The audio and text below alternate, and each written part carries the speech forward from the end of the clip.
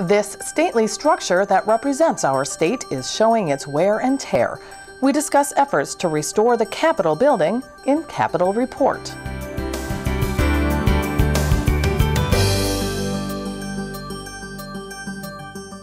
Hello, everybody, and welcome to this week's Capitol Report. I'm Julie Bartkey. From its crumbling exterior to its antiquated interior, the state capitol building is a shadow of its typical stately grandeur. The building is 107 years old, and when you look at the history of the building, the superstructure was actually pretty much completed by the turn of the century, so that exterior marble is even older than 107 years. The building is showing its age, but plans are in place to restore and renovate the Capitol. Experts contend it will take roughly a quarter of a billion dollars to complete the necessary work to repair the People's House. A lot of the problems have been because of water infiltration. Uh, we had the dome repaired just this last year or a year and a half ago, and, and that has really stopped the water penetrating into the plaster spaces and the decorative painting areas. So that's when you look inside the building, there is a lot of plaster damage. There's a lot of uh, streaks on, on paintings that, you know, basically as water's been dripping over them at a, over a considerable amount of time.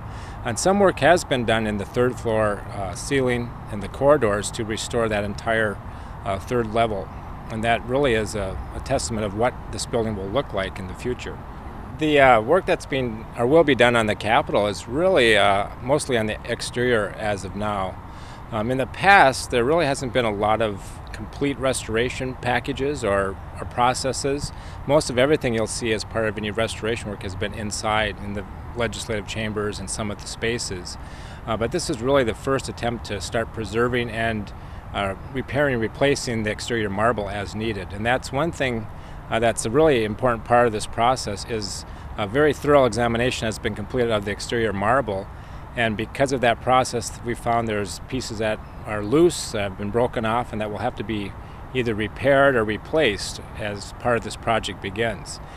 And that is the ultimate goal, bringing the building into the 21st century in function while retaining its historical integrity. A lot of the piping is still the original. The drains are still the original cast iron pipes, so those will have to be replaced. There's a lot of the mechanical systems have just kind of been piecemealed together, patched as needed to, to make the building operable and livable as a workspace. And so there's a lot of changes that will be taking place with the mechanical units. And they're even uh, devising plans uh, in the attic spaces above the third floor to build mechanical rooms instead of uh, what they presently have in the basement. So there's some significant changes that you, the public won't see, but behind the scenes will really make the building a much safer, much more you know, workable space. And we have the Commissioner of Administration, Spencer Cronk, joining us now to talk a little bit about what's next with those report repairs. Commissioner, thanks for joining me. It's great to be here. Let's begin with, as I said, the the repairs to the Capitol building. And I want to start with a quote by Representative Dean Urdahl. This was on April 19th, and he stated, our consulting architect has told us that if the Capitol were a medical patient, the exterior is on life support. Would you agree with this statement? Absolutely. I mean, we had the, this consultant come in and, and, he's worked on a number of state capitals across the country and also seen buildings in Europe that have been in a constant state of deterioration. And his advice to us was that it's not just on, on life support of the exterior, but all the functioning arteries, the plumbing, the mechanics of the building itself are in serious need of, of, repair. And so if we don't fix it now, we could see ourselves in a state of repair for the next hundred years. And so if we don't do something significant now, then we will be seeing the, the type of disrepair uh, that just won't be able to be completed unless uh, we do something uh, concrete.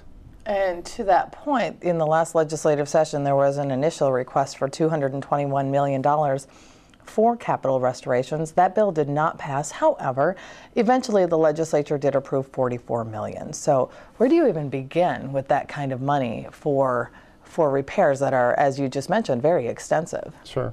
Well, I just want to step back and say, although it wasn't the full amount, it was certainly the biggest uh, contribution that this legislator, legislature has uh, committed to this project. Uh, we have seen the need for this work for decades, and the fact that there was $44 million uh, put to it, in large part uh, by the work of Representative Howes and Representative Dean, um, as well as uh, significant champions on the Senate and with the governor's office. but we want to get the process started. And so that $44 million will help us ensure that the design team has been placed, the, the construction manager is in place, and so they can start working out the details of as further funding gets allocated, what we would be doing with that. There are a few projects that need to get underway right now. We're going to be looking at the drum windows in the dome. They will be replaced uh, soon. There's a tunnel that's going to be under the University Avenue that will be happening this summer and completed in November of this year. Uh, and then we want to ensure that the, the finial, the, the little uh, lantern on top of the Capitol, is regilded, and that will be happening in the next couple weeks.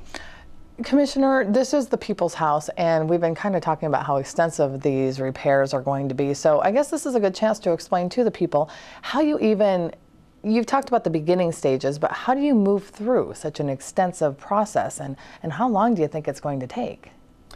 We have the whole project estimated between four and five years, but we are fortunate that there was a, a commission set up in, in statute last session, in the 2011 session, and that includes uh, leaders from the House, the Senate, the Governor's Office, the Attorney General's Office, uh, the, the Supreme Court, all the tenants of the building that can represent what those needs are. Because ultimately, this is uh, it needs to be a functioning building. It's not just a landmark that our state has, but it's a, a function of our government, and we need to ensure that it, it, functions well and effectively, not just during the restoration period, but after that period, that it's functioning for the people of Minnesota. Uh, with that commission in place, we believe that we have the right people to be making those decisions. Those decisions are not made by myself, the Commissioner of Administration. They are made by those individuals that will be leading the charge in completing the restoration effort. Okay, Commissioner, let's move on to your role as Commissioner of Administration. And you were quoted just after you were appointed, stating, Now more than ever, government needs to learn how to do more with less. And I'm committed to enhancing the interagency cooperation and eliminating unnecessary redundancies in order to create a leaner, more cost effective government that delivers high quality professional services to citizens. There were several pieces of legislation these past two sessions that do move in this direction, including back office consolidation, sharing expense services. Um, explain how these all fit into your vision and where you'd like to go from here. Absolutely.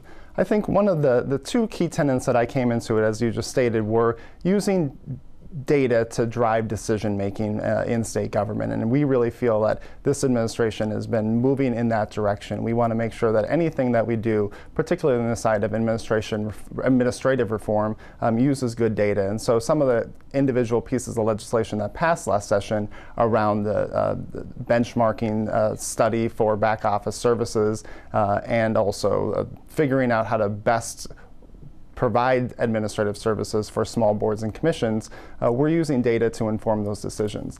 The second piece is really uh, leaning on the expertise of state employees. We believe that uh, state employees have, they're, they're, the best model for providing a great customer service. They're the direct service providers. We want to rely on their expertise. They've been doing this for decades. And to the extent that we can leverage their expertise, we will be doing so. So using the, the data better and using state employees more effectively is, is certainly a key on my priority list. And do you have a particular area that you'd like to see handled and addressed next? And quickly? I think we're really focused on how to do this back office uh, services better. I think we, we have a number of state agencies that are already working more effectively within their departments. So divisions are sharing services. Some agencies are even sharing services. But to the extent that we can leverage that at scale is going to be really important to this administration. Uh, I also created a strategic partnership unit within the Department of Administration to focus solely on that. We're working with MnSCU, we're working with the U of M, we're working with the Minnesota business partnership to think about how we can leverage those resources in other agencies and other units of government um, that can help provide the best value for Minnesota citizens. Okay, with those words, Commissioner Spencer Cronk, thanks so much for taking time to appear on Capitol Report. We certainly appreciate Not it. Not a problem. I appreciate it. Late last year, Governor Mark Dayton had issued an executive order allowing for a vote of child care providers to unionize. In June, a district court judge ruled the governor overreached his authority. On Tuesday, the governor stated he would not appeal this decision.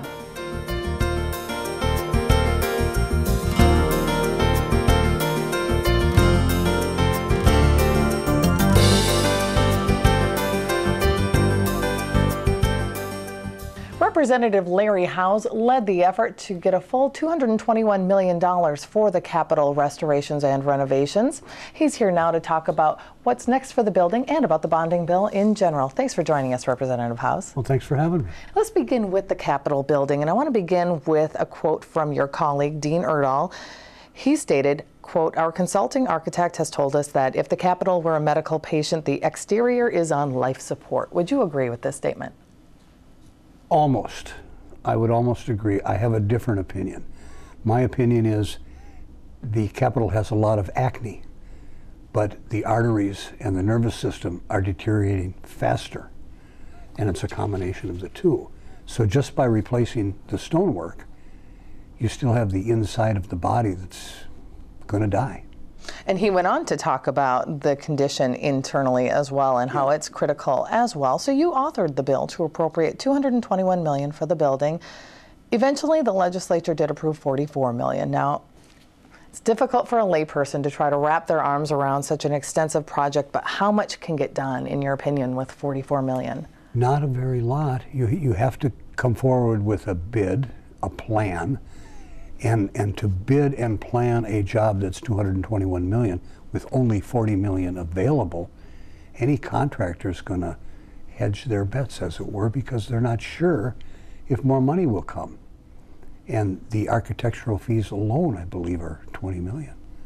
So what would you like to see done? In, in what order would you like to see it done? Well i wanted all the money to start with. Uh, spread out over four years 77 to start with knowing then the contractor would know everything else is going to be in place unless the legislature changes the law, which I don't think they ever would have at that point. So that would have been the best bet. Then we could have gotten a guaranteed price, a guaranteed schedule, and everybody would have uh, known what's going on. But this way, there is no real schedule. It's when the 40 million runs out, and hopefully next year they'll. I would, I would. Well, if I'm here next year and still chair, I would move to for, for 180 million right away. And you did just answer my next question. I was going to ask you what would be next. It's arguably it's going to be a, a very mm-hmm. different legislative makeup. Right. There's also an expected or a projected budget deficit. What are the chances of getting that additional funding? I think at this point, because of the 44 we invested, I think it's critical that we finish the job. It's next year will be an off year for bonding, but yet whether or not I'm in the majority or the minority, I would bring a bill forward. And I think uh, Representative Hausman, if, if she's in the majority, would probably have the same impression, same idea. Okay, Representative Howes, the Capitol building funding was, as I mentioned, eventually ba- placed in the bonding bill.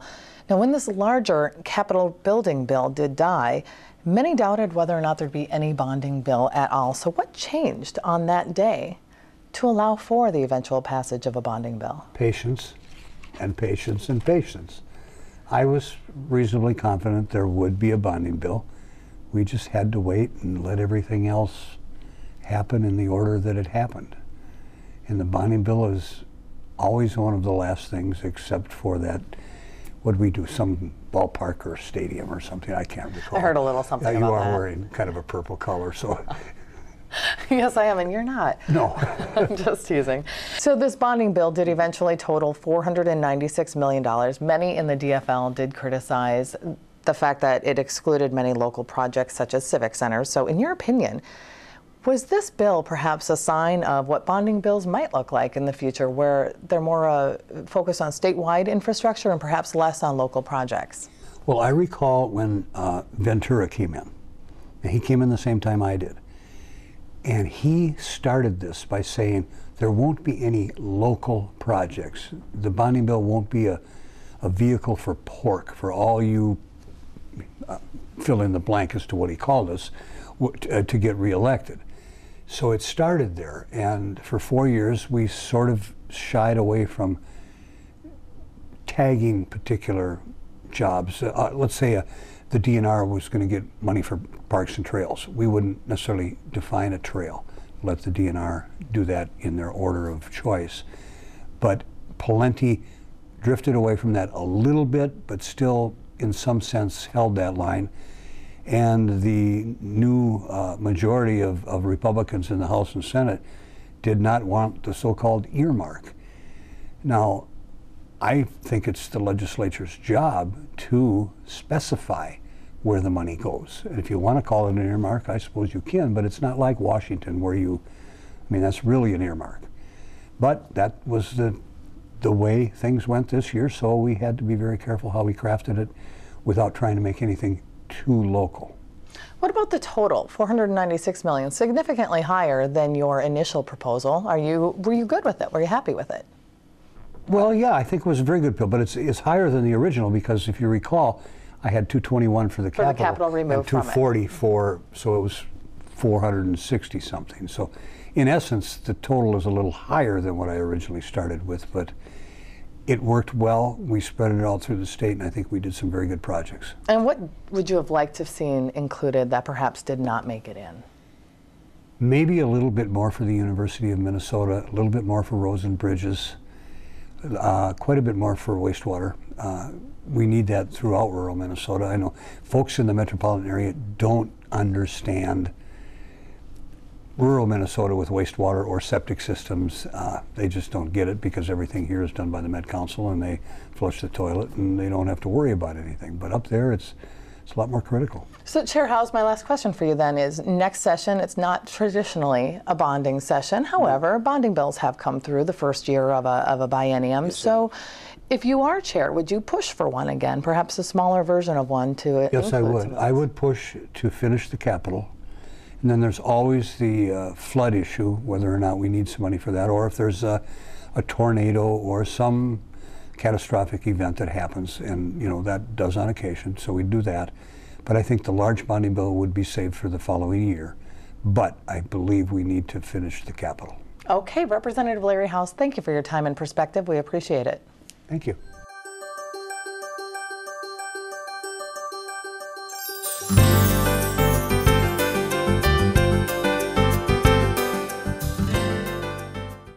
Senator Ken Kelash has been a strong proponent of job creation. He's here to talk a little bit about the bonding bill, the Capital Restoration Project, and about his career in the Senate. Senator, thanks for joining us today. Thank you for having me. Yeah. Let's begin, Senator, with your background in labor. And the DFL, of course, typically pushes for a larger bonding bill. The governor's proposal was more than 700 million.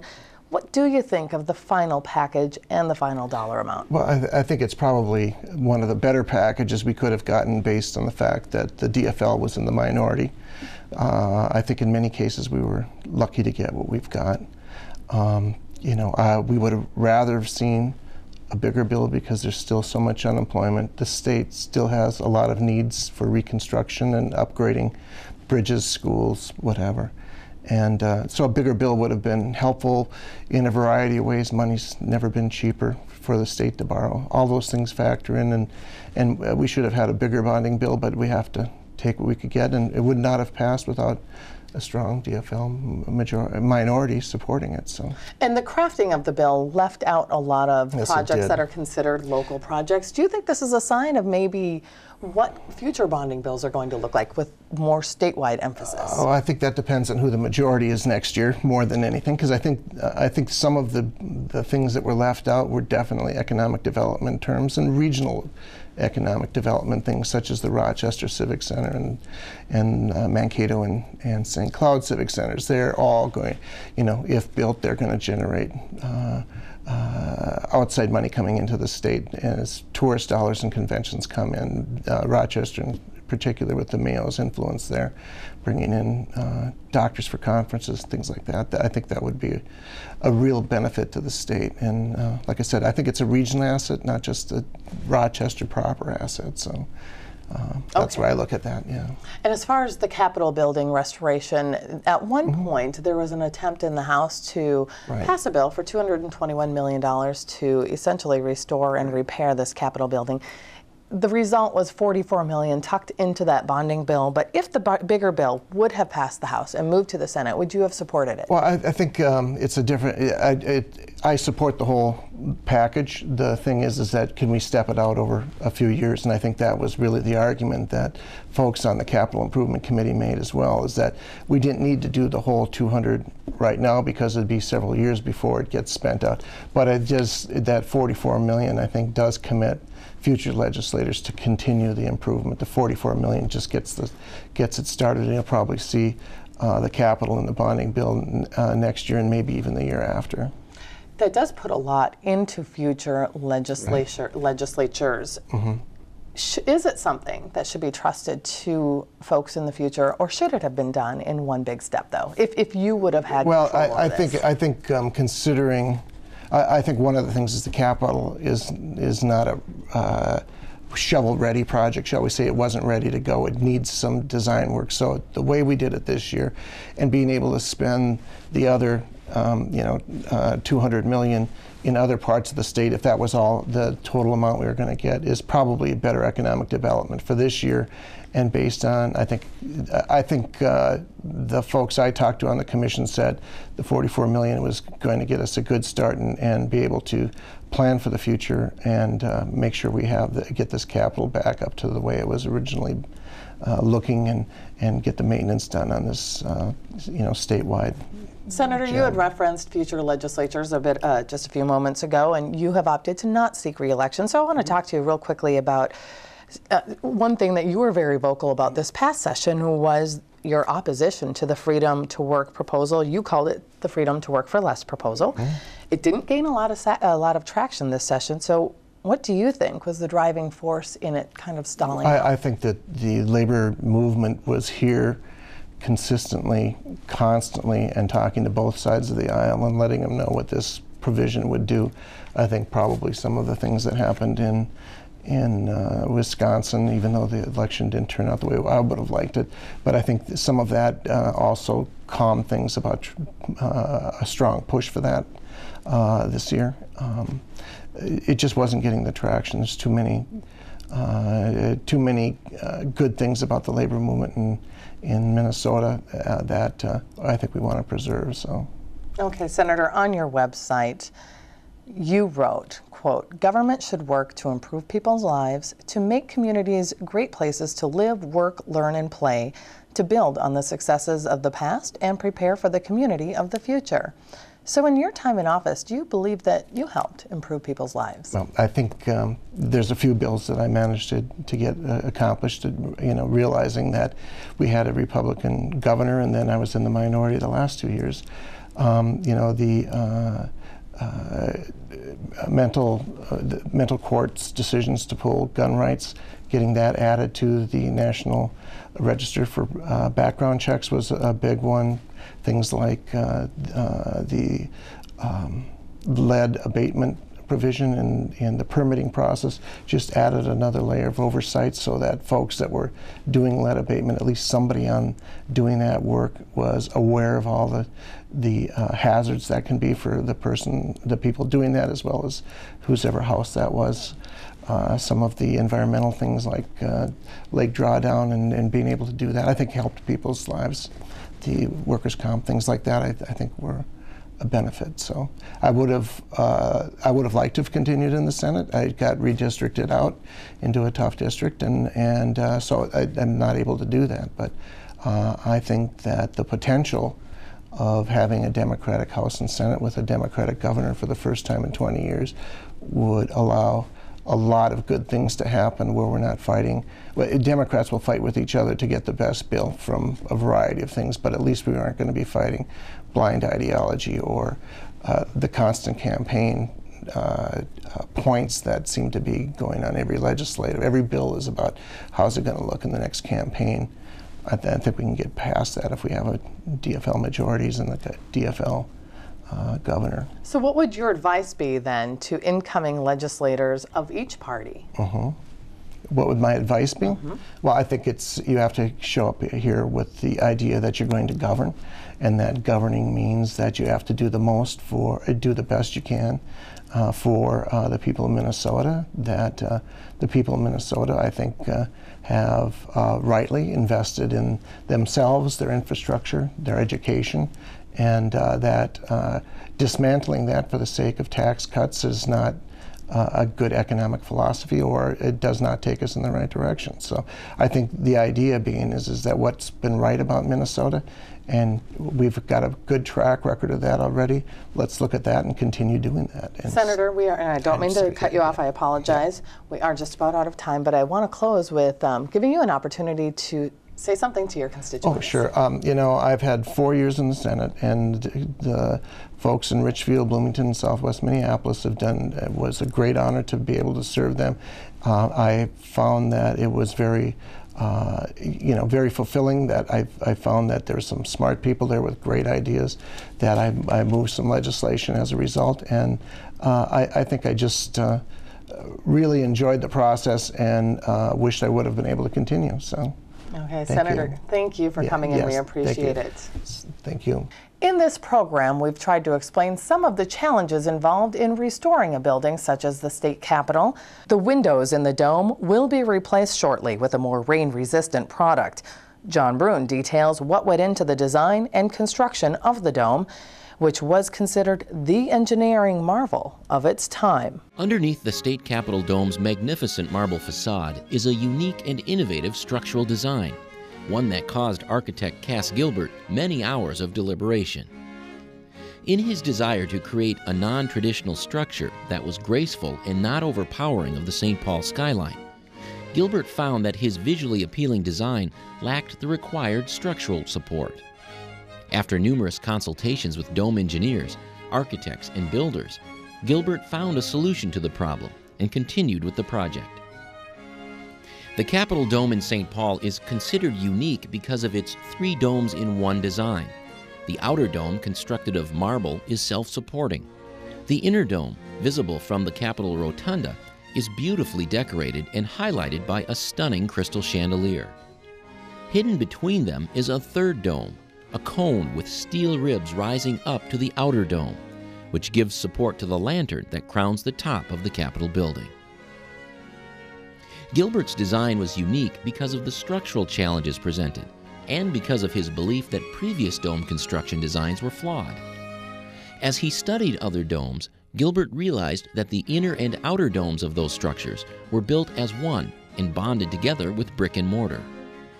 Because of that construction design, moisture could seep through the mortar to the inner dome, causing structural damage and costly annual repairs.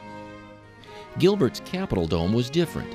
Inside of the outer marble shell, the steel ribs of the inner cone were filled in with masonry, essentially creating a dome.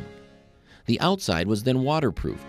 Any moisture that would seep in through the outer marble dome would then flow down the waterproof dome and drain away, preventing damage to the beautiful inner dome that lies beneath. Through the struggles of Cass Gilbert's vision for a Capitol Dome in St. Paul came a revered, innovative structure that is to this day a marvel of architectural design.